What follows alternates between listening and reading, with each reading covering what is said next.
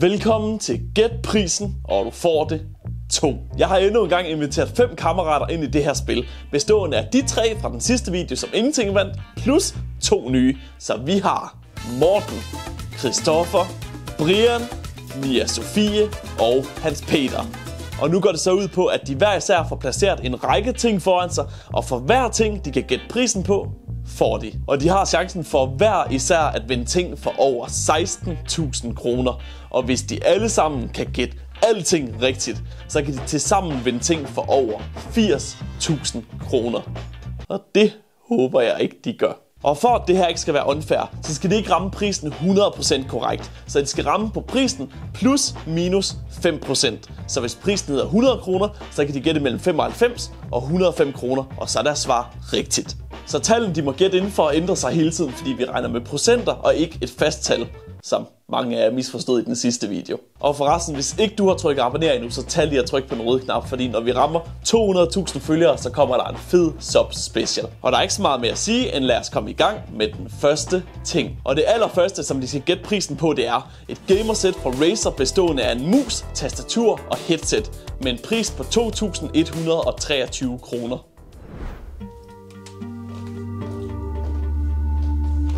Velkommen til. Jo, tak. Tak skal du have. Du skal gætte prisen på nogle ting i dag, og hvis du kan gætte prisen inden for 5% fra, hvad den rigtige pris er, så er tingene dine. Det lyder spændende. Har man øh, tid på? Der er ingen tid. Fedt, fedt, fedt. Vi har seks forskellige ting med i dag. Yes. Tror du, du vinder noget som helst? Nej. Men jeg håber. Jeg henter den første ting. Bring it on. Det her er et gamersæt fra Razer, bestående af et tastatur, en mus og et headset. Og hvis du kan gætte den samlede pris på de her tre ting, så er det dit. Fedt. Altså, nu er jeg jo Playstation-fyr. Jeg troede, du var en flødefyr. Det plejede faktisk at være ret dyrt. Ja, Razer er et dyrt mærke. Men du synes da ikke, det her det har været dyrt, gør du? Jeg må ikke give ledetråd. Men det skader ikke at prøve. Øhm, øj, den er svær, mand. Den er pisse svær. Den her, den vil jeg skyde på, nok koster omkring 700. Altså plus er bare sammen til sidst, okay? Det skyder på, den koster 600. Ja, vi siger 400 på den her. Den her, den står til omkring 800. 500, 400, 600. 2300. Nej, tag lige 200 fra. Og det er så 8, 9, 10, 11, 12 Jeg er. Gætter på 3200. 2950. 1500. 2300 kroner. 2100. Dit gæt, det er forkert. Pis. Pis og lort. Jo. Ej! Det koster 2123 kroner. Ja, okay. Det var et dårligt gæt. Nå, øv. Helt ærligt, det godt. Det synes jeg faktisk er lidt vildt. Jeg, var ikke helt, altså, jeg synes ikke, det er helt galt sådan med priserne. 2, 1, 2, 3. Hvorfor, det, hvorfor gætter jeg ikke det? Men du er faktisk tæt på. Det kan jeg ikke bruge til en skid af det, lige sagde. Og være tæt på, hvis det er ud for 5%, så får du det ikke. Men du var tæt på. Jeg kan ikke bruge til en skid. Lige ved næsten. Så kan det være, at der er nogle andre, der er heldige at vinde det jo. Dit gæt, det er rigtigt. Seriøst? Det er rigtigt. Du er 23 kroner fra. Seriøst? Ja, Så fordi jeg lige sagde, nej, vi sletter lige de 200 der, så kom det lige rigtigt. ja. Så øh, det er dit. Hvor sygt. Vil du, vil du gemme på det? Jeg skal lige gætte på nogle flere ting nemlig. Det går åbenbart godt. Nej, det havde jeg faktisk ikke regnet med. Så den morgen. Jeg pakker det her væk og finder ting nummer to. Den næste ting i rækken, som vi skal gætte prisen på, det er en OnePlus Nord 2-telefon til en pris af 2.705 kroner. Det næste, du skal gætte prisen på, det er en OnePlus Nord 2. 128 GB, 8 GB RAM. Det der, det er jo OnePlus' bud på en billigere telefon. Ah, det er sådan noget Android-pis, ikke? Nå, så det er deres billige model -agtigt. Okay. Okay. Og hvis du gætter prisen, så den din. Havde det bare været en iPhone, så havde jeg måske haft en chance. Sidder du og tilbyder mig Android? Ja. Hvorfor gør du det til en iPhone? Den gider jeg ikke engang at have. Prøv at, jeg har haft iPhone lige siden nærmest altid. Den har 8 GB RAM. Hvad sker der? Den kan jeg godt bruge til noget, den her. Altså mere end jeg kunne bruge det andet til. Men jeg har ingen idé om det her. Jeg har lige nøjagtigt for cirka hvad, 3-4 timer siden sat og kigget på telefoner. Og hvad står sådan nogen så til? Det er et rigtig godt spørgsmål. Jeg ved ikke, hvad jeg skal sige. Jeg har ingen idé om det. Jeg aner intet om Android. Kender du nogen, der kunne bruge den, hvis du vandt? Jeg har en kæreste, der fødselsdag i overmorgen. Hvorfor skal du sige sådan noget? Ja, nu har du lyst til at vinde Hvorfor, skal du gøre det? Så får jeg jo dårlig samvittighed, hvis jeg ikke vinder den. Åh, den er svær. Nøj, den er svær. Du kan se specs på enden af den. Skal det bruge til noget? Jeg har kigget, og det gjorde jeg også sidst. Så det der, ved- det kigger jeg slet ikke på. Jeg kigger på, hvor flot indpakningen er, og så. Ja, nu skal du høre her, ikke? Sådan en, den koster 3.495. Den koster 8.888. 4300. 4.999. 6.250 kroner er mit bud. Dit gæt, det er forkert. Pisser du lort. Pis. Den koster 2.705 Nej! kroner. Jeg skulle aldrig nogensinde have sagt 4.000. Okay, det var faktisk billigt. Den er faktisk rigtig billig. Okay, det havde jeg aldrig gættet rigtigt. Altså, aldrig nogensinde. Jeg tror ikke, man kan få telefoner så billige. At det æder med med vildt. Sådan er det jo. Bedre held næste gang. Ja, man kan ikke være lige så heldig hver gang. Finder du næste ting frem? Nu vil jeg videre. Jeg vil gætte noget rigtigt. Jeg finder næste ting.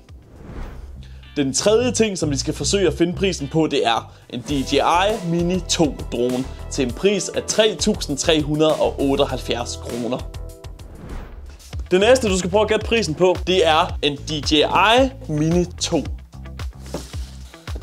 Jeg har lige købt sådan en her. Har Men du det? Ja, men det er ikke en mini. Åh, oh, sindssygt. Sindssygt. Og jeg købte den brugt, men det er en DJI og øh, en Mavic Air. Ja, Mavic, det er sådan modellen bedre. Og det har jeg bare overhovedet ikke styr på. Sådan en drone kunne jo være rigtig være fed at have, fordi den er nyere end den, du har.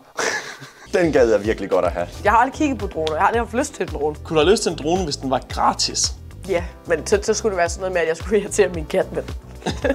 Ej, hvor gad jeg godt at have den her. Ej, det er nogle vilde præmier, du har med, mand. Det er jo sindssygt. Der er et eller andet, du, øh, nu, må, nu skal du ikke forvirre mig, fordi nu skal jeg lige have gang i arkivet her. 9, 14, 21, Hold nu 13. kæft, hold nu kæft. Jamen, jeg ved jo heller ikke engang, hvor dyre droner er helt generelt. Af en eller anden grund, så tænker jeg sådan 2400. Ej, den er svær. Jeg ved i hvert fald, det er op omkring 4.000. Ej, jeg vil så gerne vinde den her. Det kunne være så fedt. Jeg har kigget på den så mange gange. Det, har- har jeg slet ikke nogen anelse om, hvad sådan en her den koster. Jeg har lyst til at gætte min, altså, på min gamle husleje til min gamle lejlighed. Hvad var din gamle husleje? 3.500. Det gør jeg. 3300 er mit bud. Jeg gætter på 2350. Vi siger fir- 4.000. Den her, den koster 3100. Dit gæt er forkert. Nej! Det var faktisk sådan lidt deprimerende. Den koster 33,78. Jeg overvejede 33 faktisk. Det var godt nok det ved siden af. Ja, okay, det havde jeg så overhovedet heller ikke gættet. Det hjælper faktisk på det, når jeg er så langt fra. Det er der ikke noget ved. Det er rigtig nederen, mest fordi jeg vil gerne have min egen drone. Jeg har faktisk en drone derhjemme, men det er så ud, den er så stor her, ikke? og puster du til den, ikke? og så er den fløjet ind i væggen. Flyver udenfor i stor åben natur. Nå, der var en væg. Bedre held næste gang. Mia, mm-hmm. Dit gæt, det er rigtigt. Er det rigtigt? Det er rigtigt. Min gamle husleje. Det er din drone. Ej, hvor er det vildt. Nej! ja. Fedt, hvad skal jeg så med den nu? Så den kan flyve, ikke også? Nej, ikke nu. ja, men den er, den er, den, Ved du hvad, det går lidt op for den ene krone. Det synes jeg er helt okay. du var en krone fra at have fået den her væg hjem. Ej, du lyver. Gulle! Jeg har vundet noget, Gulle. Tusind tak. Selv sagt, du har gættet prisen. Tak til min gamle husleje.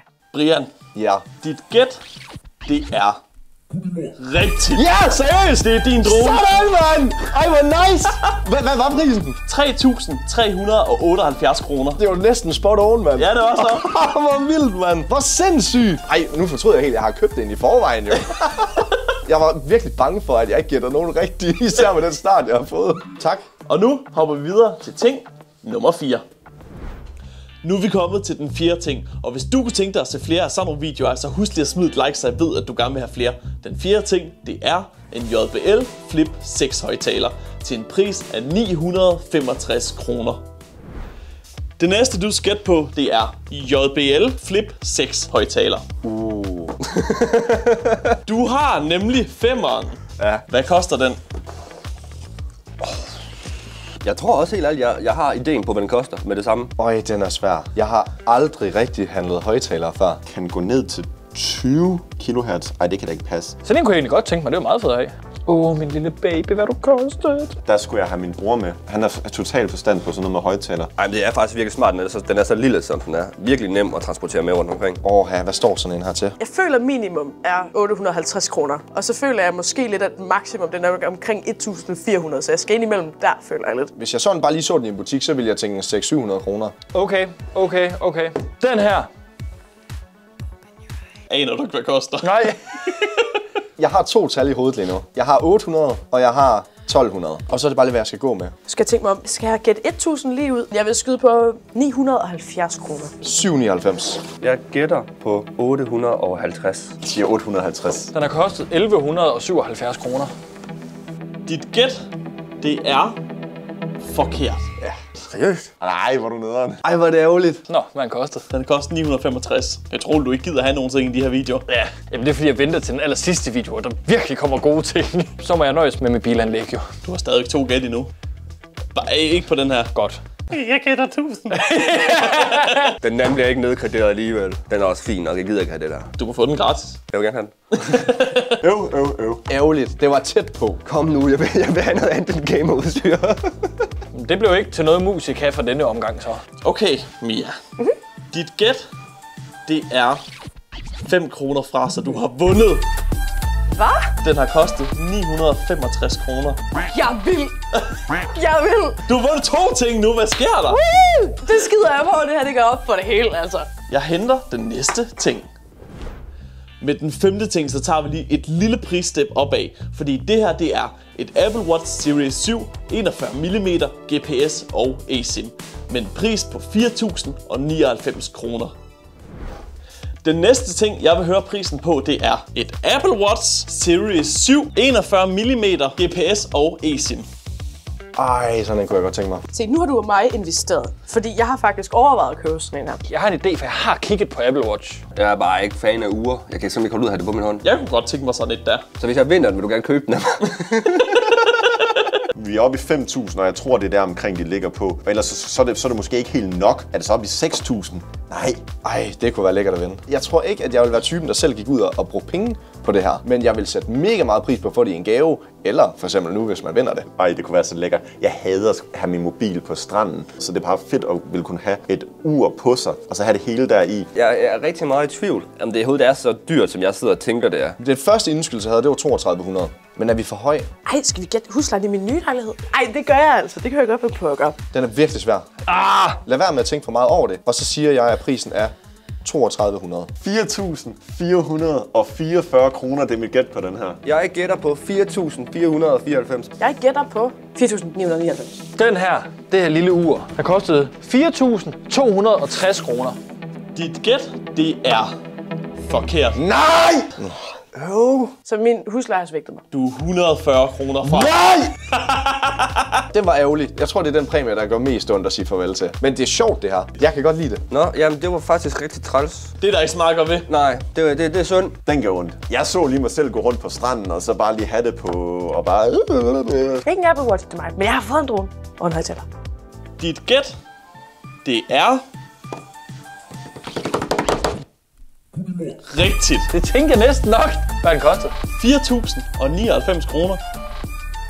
Jeg overvejede at sige 4400. Det var godt, jeg gjorde det. Så det er din. Fedt, jeg har vundet noget. Det skal jeg kigge på. Skal jeg se, om det bliver noget for mig, det her. Skal jeg gætte den sidste ting? Nu er jeg lige stået til at gætte. Ja, vi går videre til den sjette og sidste ting. Som den sjette og sidste ting, der har vi et GoPro Hero 10 action kamera med en pris på 3.329 kroner. Den sjette og sidste ting, du nu skal gætte prisen på, det er et GoPro Hero 10. Okay, det kunne være vildt fedt, det der. Øj, det har jeg overhovedet ikke styr på. Det vil jeg rigtig gerne have. Ej, Og så kan det være, at jeg kan få mine 8 tilbage, som en eller anden har lånt. jeg har glemt den. Det var det eneste, hun skulle have husket i dag, da hun skulle herhjem. 4K med 120 frames. Det kunne altså være ret hyggeligt at have det her. Åh, I går, der stod jeg inde i Elgiganten og kiggede på det her. Og jeg kiggede på prisen, men jeg kan ikke huske det. Øh, hvad fanden kan sådan en koste? Jeg kan godt forestille mig, det er sådan, det er ret dyrt. Jeg skulle lige til at sige, at jeg faktisk blev en, en lille smule ked af det, da du skubbede den her over til mig. Jeg fik sådan en altså GoPro i konfirmationsgave. Og jeg troede faktisk, den nyeste, der var indtil videre lige nu, da jeg havde nok skudt på en 7 eller sådan noget, 8 måske. En 10'er gulde. Det er decideret absurd. Okay, okay. Jeg tror, at prisen ligger imellem 3 og 4.000. Den koster... Fuck, jeg er i tvivl, og jeg har ikke lyst til at gætte forkert. Jeg har lyst til at gætte på øh, det, en AVP i Counter-Strike koster. Der er også et eller andet, der siger mig, at måske kunne koste 3800 den her. Den her øh, lille sag har kostet 3653. 4.750. Jeg siger 4000 kroner! Jeg gætter på, at den koster 2600. Mit bud, det vil ligge på 3600. Okay. Dit gæt er Forkert. Nej! Ej, hvor øv. Nej! Pis. Prisen er 3.329